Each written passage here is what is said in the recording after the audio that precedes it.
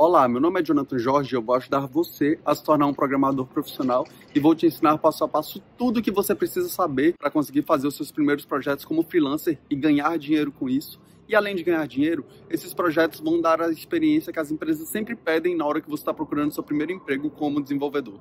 Esse é o resultado da última aula, da aula 18, e no final dela eu acabei percebendo que nosso site estava com scroll, eu não sei porquê, da esquerda, mas o que a gente vai fazer vai ser desativar o scroll para a esquerda, deixar só o para baixo ativado, deixar só na vertical ativado e desativar o da horizontal.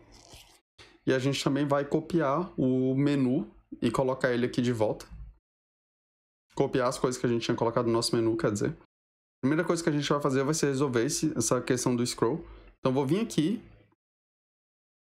inspect Vou vir aqui no body e vou falar para ele que eu não quero que tenha scroll na horizontal. Então aqui overflow x hidden, que é hidden. E nesse caso o hidden ele não permite que tenha scroll. Vou colocar de novo que eu atualizei sem querer. Vou colocar de novo que eu atualizei sem querer. Overflow x hidden. Ó, tô tentando e ele não tá indo mais. Beleza, isso já resolve o nosso problema. Então a gente vai lá no Visual Studio Code, vou copiar a aula 18, chamar ela de aula 19.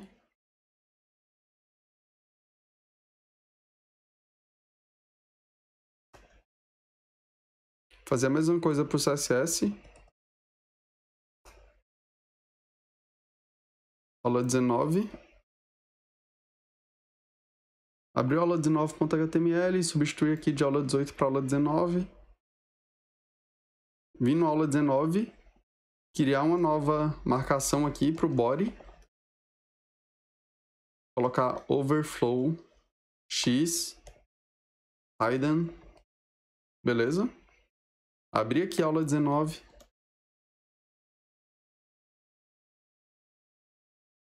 Fechou. Tá funcionando de cara. Beleza, agora a gente vai lá na aula 14. Tá aqui o menu esquerdo, vou copiar toda essa UL do menu esquerdo e na aula 19 e colar dentro do menu esquerdo. Colei. Tá aqui como ficou. Agora a gente vai copiar os CSS desse menu esquerdo. Que... Tantan. Aula 14. Menu esquerdo. Tá aqui o estilo da UL. A gente também precisa do link. Menu esquerdo. É, a gente precisa desses dois.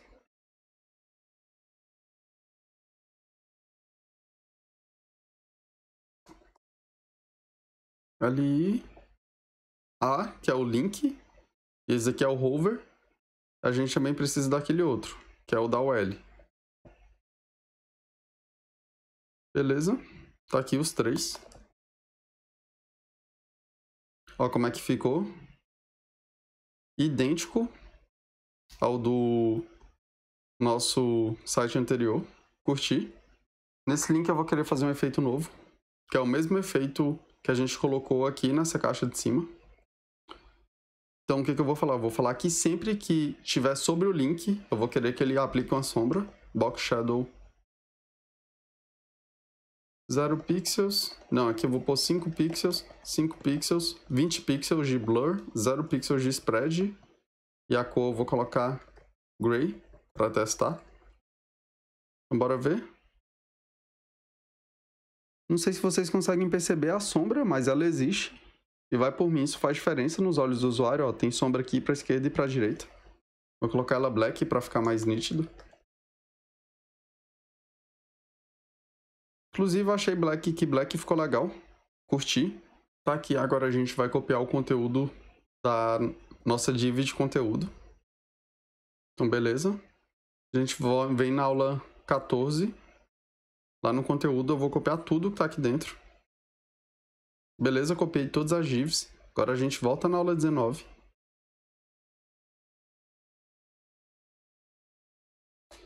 Cola aqui dentro de conteúdo, vou apagar essa palavra conteúdo. Bora ver como é que ficou. Tá aqui, pizza de calabresa. Ficou legal. Agora a gente vai copiar os estilos de conteúdo. vim aqui na aula 14.css. Conteúdo. Não tem. Acho que o único que tem estilo é pizza. Pizza tem isso daqui. Essas duas anotações de estilo. Então a gente vai lá na aula 19.css. Colo no final, que é pizza e o pizza image. Olha aí como é que ficou. Gostei, achei que ficou bem bacana. Agora o que a gente precisa fazer é tirar esse background de amarelo do conteúdo. Então vou vir aqui no background de amarelo, vou apagar. Vou apagar errado. Vim aqui no background de amarelo, vou apagar. Eu também vou apagar o hate, porque não precisa mais. Apaguei o hate. E olha só como é que ficou. Nosso site está idêntico ao site anterior. A diferença é que agora tem alguns efeitos legais. E o que, que eu vou fazer de novo para a gente aprender? Vou colocar sombra no nesses cards aqui das pizzas. Além disso, outra coisa que eu vou querer fazer é que tem uma distância aqui no conteúdo. Porque para aparecer mais com... Vai ficar mais bonito, eu acho. Com essa separação. Então o que, que a gente vai ter que fazer? Eu vou vir aqui e vou ver quem é que está ocupando todo aquele espaço. Lá em conteúdo, tá aqui conteúdo, margem top, margem left. Se eu vir aqui, vou apagar esse widget 100%, não quero que ele ocupe mais 100%. Beleza, deu certinho. O que, que a gente faz? A gente vai lá na aula 19 CSS e fala que a gente não quer mais que o conteúdo ocupe 100% do espaço disponível para ele. Então vou vir aqui, ó. Conteúdo, apaguei o 100%.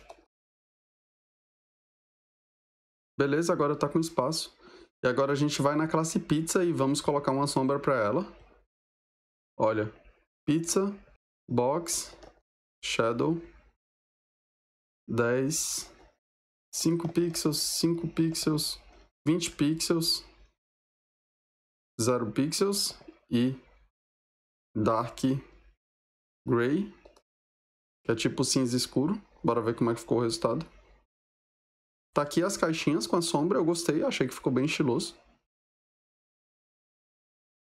Agora a gente vai pegar esse resultado e colocar ele lá no CSS. Então vou vir aqui, Visual Studio Code. Já apaguei o do conteúdo aqui em Box Shadow. 5 pixels, 5 pixels, 20 pixels do blur, 0 pixels do spread e dark gray. Ó, oh, dark slate gray, bora ver como é que é esse. Ficou mais escuro, preferi o outro. Fechou. Achei que ficou bem legal. Espero que vocês tenham curtido essa aula de hoje. Acho que a gente teve bastante progresso. Tanto que já terminamos de migrar o nosso site de div para tabela. E a gente ainda fez algumas melhorias, colocamos algumas sombras. Estamos utilizando bastante Box Shadow. E também passamos a dar um espaço daqui, porque no dia antes ele ocupava ah, o de antes também não tinha. Foi depois que a gente migrou que ele passou a ter. A gente corrigiu e deixou igual. Espero que vocês tenham curtido. Como eu sempre peço, compartilhe esse conteúdo com seus amigos. Me diz o que você achou dessa aula, me diz o que você achou do resultado que eu fiz e do resultado que você fez aí na sua casa. Conversa comigo, se tem alguma dúvida, me chama no Instagram. Tamo junto. Meu objetivo é que você aprenda, porque o meu sucesso depende do seu sucesso. Então tenha sempre em mente isso. O meu sucesso depende do seu sucesso. Bora. Bora pra cima, bora continuar estudando e falou.